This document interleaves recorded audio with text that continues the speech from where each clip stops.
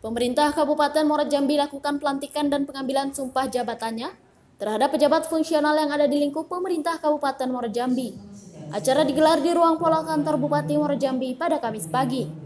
Acara dipimpin langsung oleh Sekretaris Daerah Kabupaten Muara Jambi M. Fadil Arif, serta dihadiri sebanyak 202 para pejabat fungsional yang akan dilantik. Menurut Sekda M. Fadil Arif, pelantikan pejabat fungsional ini merupakan yang pertama kali di Kabupaten Muara Jambi.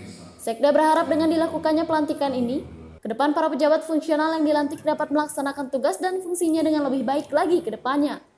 Sekda juga berpesan dan mengingatkan kepada para pejabat agar tidak ada transaksi apa pun dalam setiap pelantikan yang dilakukan, karena akan berdampak tidak baik bagi sistem pemerintahan dan tentunya menyalahi aturan yang ada.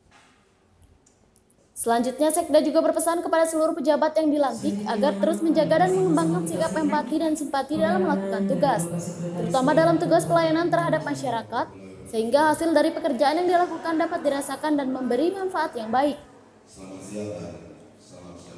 Ya kita ini yang pertama, tapi terus harus berlanjut karena jabatan itu semua harus dilantik ya, supaya itulah ikrarnya kepada bangsa dan negara ini.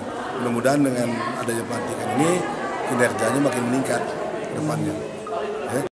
Dari Jambi, Jackie Santoso, Tribrata TV, salam Tribrata.